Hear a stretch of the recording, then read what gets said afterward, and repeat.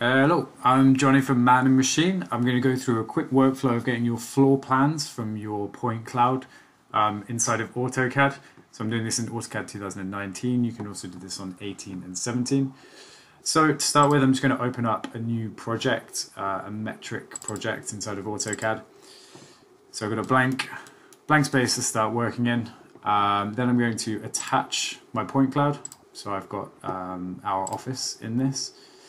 So get the option of where I want to place it. I'm just going to bring it in um, as a non-specified, so specified by me.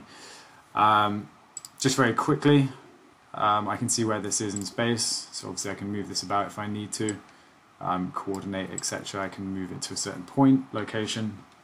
I'm going to leave it where it is at the moment and just show you um, how I can slice this um, so that I can get what I need to from it. So I want to take a floor section. I'm going to take the second floor. So I've got two stories in this. Uh, I've got the warehouse as well. Um, but what I'm quickly going to do is add a section plane to the top of it. So I get this section plane here that I can move up and down to slice my model. Um, so I'm just going to move this down a touch, move it into my model. So you can see that I've cut into the floor. What I can do with this plane is I can create a slice, which is what I need to do.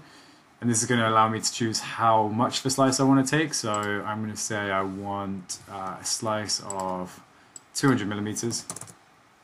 And this value here will dictate, dictate how high or um, in the z-axis I'm taking that slice from for this. So I'm going to say 6,500, just see if that's what I want.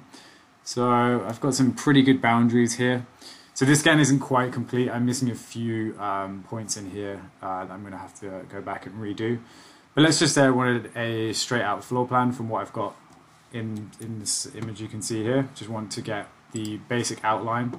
I could, if I wanted to, draw around it. But what I can actually do now I've got this, I've got this slice is to extract section lines and then just choose my, um, my point cloud. So this is going to create uh, some drawing. It's going to create a polyline uh, that goes around all of my uh, the exterior of my building. If I was doing this properly, I would have got rid of some of the other points uh, that I have floating around in ReCap. Um, but what I can do is just hit create. I've got preview selected, so it's going to just create a quick preview of, of how that's going to look. So it's just gone away here, just thinking about things for a little bit. Probably going to take a little while longer just because I have all of this extra fluff um, but you can see here now that I have um, AutoCAD has created um, fairly roughly. There's a few things that I might need to tidy up. But if I was to hide my point cloud, so I'm just going to pop it on another layer, um, put it on layer 1.